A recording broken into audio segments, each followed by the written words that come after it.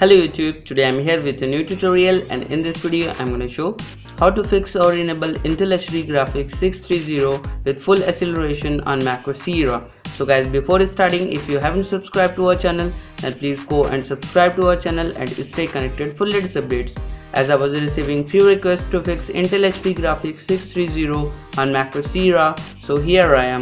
So guys let's start.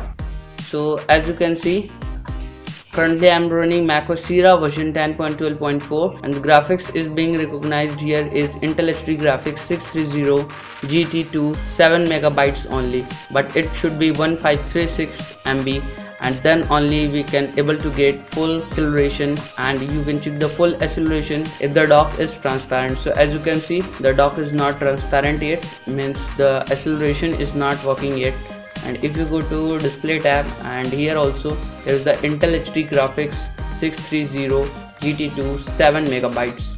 So let's fix this. So all you need to do is download this fix from the description. Don't worry guys. All download links are provided under video in the description. So after downloading this fix extract it.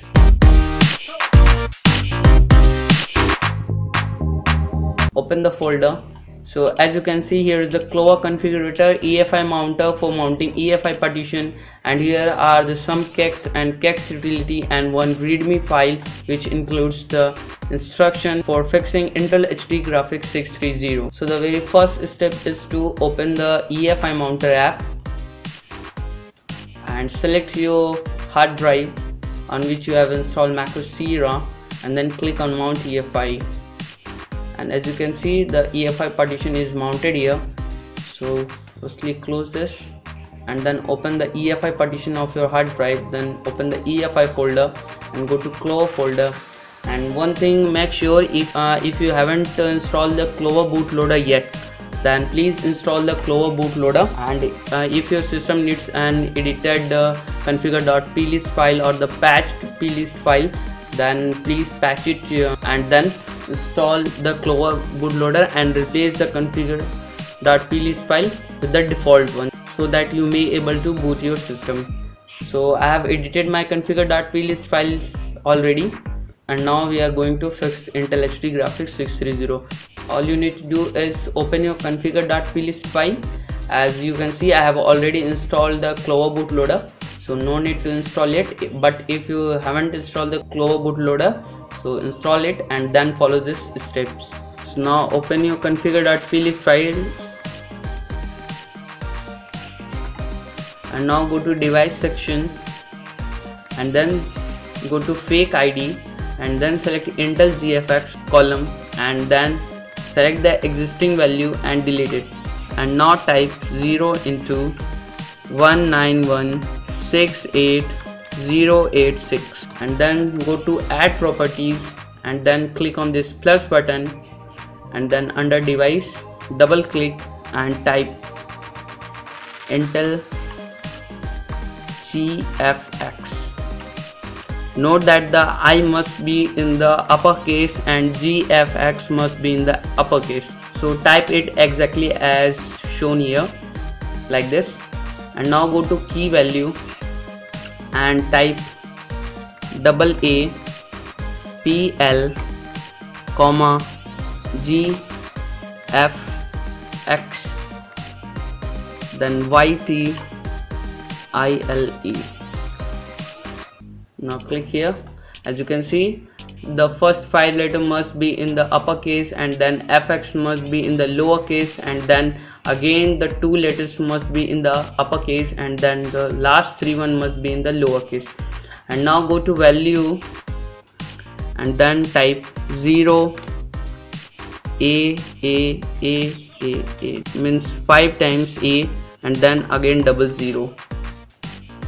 As you can see here 0 5 times a and then double zero under value type select it to data. Now make sure that uh, in the fake id intel gfx has been set to 0 into 1916886 in the add properties section the, the device must be intel gfx and the under key it must be aa apl double apl gfx ytile and in the value and under the value it should be 0 5 times A and double times 0 again and the value type then there must be data selected. Now go to graphics tab make sure that the inject intel has been checked. If it is not uh, checked this box then make sure to check this box and then go to IG platform ID and if there is some existing value then delete that and type 0 into 1916 4 times 0 so make sure it is 0 into 1916 4 times 0 and then save your configure.plist file after verifying it. And then close your EFI partition. And then quit Clover configurator. And now open the extracted fix folder. And now open the kext utility. Now type your password and press enter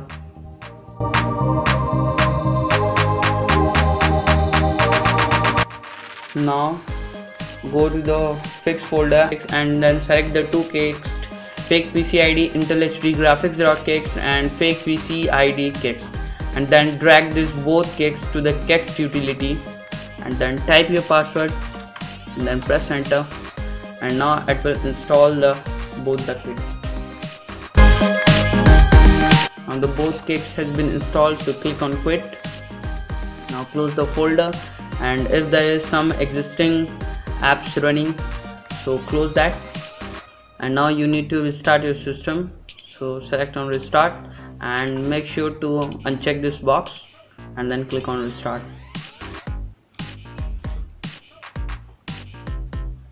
As I'm using uh, a MSI motherboard so the boot menu key is F11 so press your boot menu key and open your boot menu and then select your hard drive followed by the UEFI prefix or the UEFI OS then press enter to boot.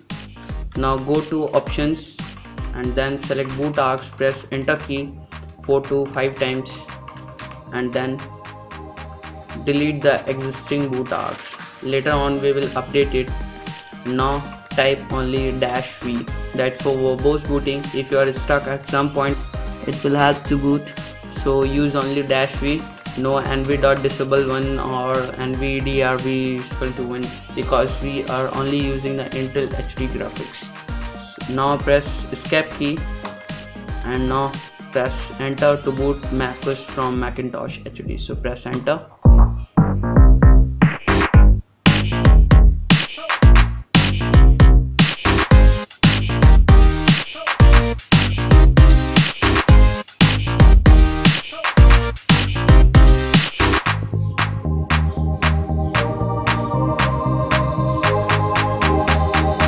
now type your password.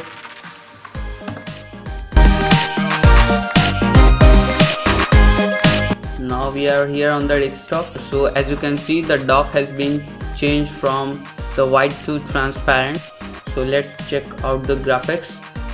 So select about this mac and wow as you can see here here's the intel hd graphics 630 gt2 1536 megabytes and go to display tab and here is the LG IPS Full HD display 21.5 inch running into 1920 into 1080p pixels and here's the Intel HD graphics 630 GT2 1536 megabytes. Means now your Intel HD is working with the full acceleration with the all features enabled.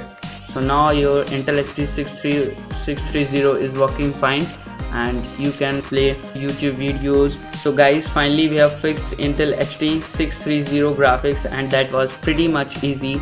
So so now finally we have full working Intel HD graphics 630 working with full acceleration. Hope you like this video. Thanks for watching and don't forget to like share comment and subscribe for more updates. Stay connected. Have a great day